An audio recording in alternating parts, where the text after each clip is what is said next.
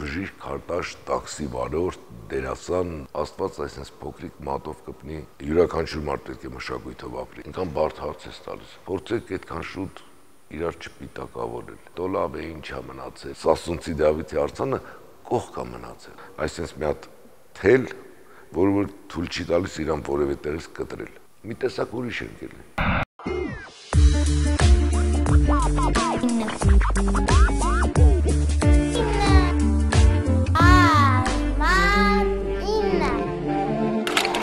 Ինչ է մշակույթը ինձ համար։ Ապրելակերպ, ապրելու իմաստ ու ասենք ապրելու իմաստ եթե ընդհանրապես հարցեր բեր, այն նույն հարց, նույն պատասխանը ես կտայի, որովհետև դա իմ երեխաները, իմ աշխատանքը, մշակույթը, որովհետև դա իսկապես ապրելակերպ է, մշակութային ապրել, դա շատ կարևոր է։ Ու դա ոչ անպայման է, որ դա լինի մասնագիտական յուրաքանչյուր մարդ պետք է մշակույթով ապրի։ Այդ դեպքում ես կարծում եմ, որ այն խնդիրները, որ մենք ուզում ենք լուծենք մեր առօրյայի համար, կապենք դա քաղաքի հետ, երկրի հետ եւ այլն աշխարհի երկրագնդի հետ, մշակույթը շատ կարևոր է։ Ու այդ դեպքում մենք մեծ քայլերով կգնանք առաջ, որովհետեւ միայն կիրթ հասարակությունն է մեր հաջողության երաշխիքը։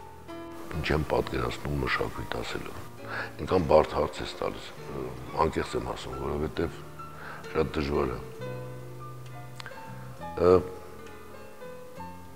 նախ քաղաքացի լինելը դա շատ կարևոր է դա մշակութային է շատ մարդ կարող է չապրել արվեստով բայց մշակույթը իր մեջ գրող մարդիկ են դրանք ու իրենց ոլորտի մշակույթը այդ երևի թե դա է մարդկային փոխհարաբերությունները ապագա կառուցելը, ընտանիք կառուցելը, երեխաների շփումը, կնոջը սիրելը ընդհանրապես կնոջը միշտ սիրալված լինելը, այդ բոլորը մշակույթ է։ Լավ մասնագետ լինելը քո բուն մաս, ընտրած մասնագիտության մեջ բժիշկ, քարտաշ, տաքսի վարորդ, դերասան նշանակություն չունի։ Մշակույթը պետքա լինի քո մեջ։ Այ երևի դա այդ կոնգլոմերատն էլ կոչվում է մշակույթ, որտեղ ինքը այնքան լայն ու բարդ է, եթե ես կարողանամ պատասխանել երևի։ Որքանով անհրաժեշտ կրթությունը թատրոն մտնելու կամ դերասան դառնալու համար։ Գիտեք ինչ, ես կարծում եմ դերասան դառնալու համար ամենակարևորը երբ ծնված օրը Աստված այսպես փոքրիկ մատով կպնի երիտասարդի կամ այդ փոքրիկի ճակատին առաջի պայմանը դա է. Բնատուր դերասան կարող ես լինել ու մենք այդպեսի փորձեր ունենք այդպեսի անվանի շատ դերասաններ ունենք, որոնք երբևիցե մասնագիտական կրթություն անգամ չեն ստացել, բայց իրենք դերասաններ են, իսկապես դերասաններ։ Բայց միևնույն է, ես գտնում եմ, որ կրթություն պետք է անպայման, որովհետև պետք է լինի բազա, որի վրա դու կառուցես արդեն քո շենքը, քո տունը, այդ դեպքում ինքը կլինի քոնը։ Ոչ թե դառնաս որևէ քար ուրիշի տան մեջ, այլ ինքդ փորձես ստեղծել քոնը։ Բնականաբար դրա համար կրթություն պետք է։ Երևանը բարթագույն է ու Երևանը իր հոտն ու համը ունի։ Բնականաբար իմ սերնդի մարդիկ հաճախ ասում են՝ «Տո լավ է, ինչա մնացել են մեր Երևանից»։ Բայց նույն բանը ինձ ասում էր հայրս։ Թե դուք ինչ եք տեսել Երևանը այլն, միգուցե իր հայրն էլ իրան ասել։ Այսօր երևի ես եմ ասում իմ երեխաներին, բայց Երևանը ունիկալ քաղաք է։ Անկախ նրանից, որ հազարավոր տարիներ եւ այլն եւ այլն Ռոմից 29 տարի մեծ այդ մի կողմա պետք դնել ամեն սերունդը իր Երևան ունի իր Երևանն է կառուցում շատ բաների հետ ես կարող եմ համաձայն լինել չլինել եւ այլն եւ այլն երբ որ կառուցվեց երիտասարդության պալատը իմ հայրը դժվարությամբ ընտելացավ այդ պալատին։ Իրանց սпасով ինքը սկսեց կոչվել կրծած կոկորուս ժամանակին, բայց ինձ համար արդեն երիտասարդության պալատը իմ Երևանի սիմվոլներից մեկն էր։ Իր բացակայությունը իմ երեխաների համար առանձնապես աչքի չին գնում, ոնց որ չի եղել։ Ու նույնը յուրաքանչյուր սերունդ ունի իր փողոցը,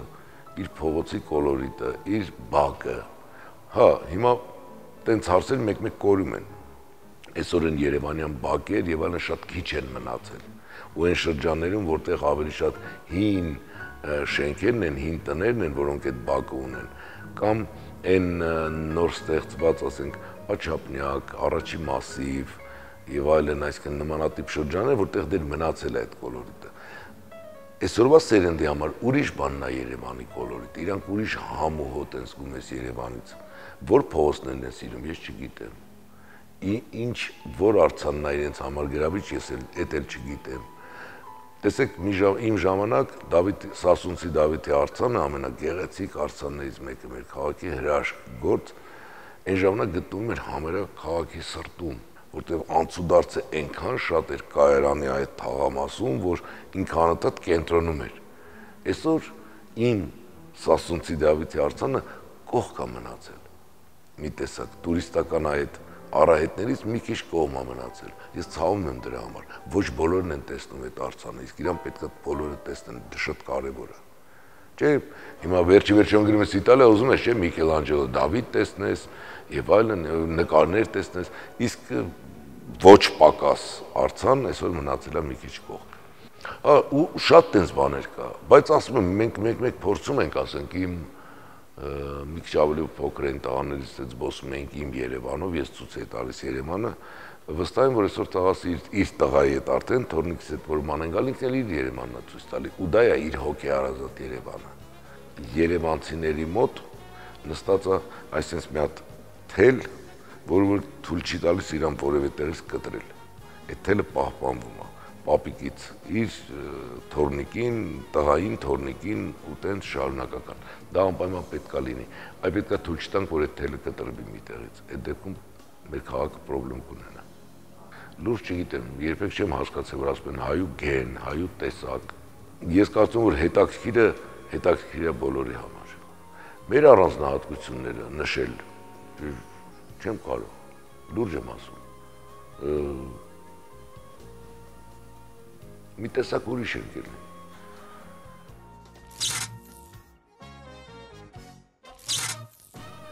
Ես ընդհանրապես խորհուրդ տալ չեմ սիրում։ Կարող եմ իմ ցանկությունը իրենց ասել, որ ինչ էլ որ ընտրած լինեք, ես նկատում եմ մասնագիտական, կարևորը սիրեք այն ինչ որ անում եք, շատ սիրեք։ Ու ամենակարևորը փորձեք այդքան շուտ իրար չպիտակավորել երկխոսության մեջ է ծնվում ճշմարտությունը։ Չգիտեմ, խոչի լավ ապրեք, առողջ եղեք, երջանիկ։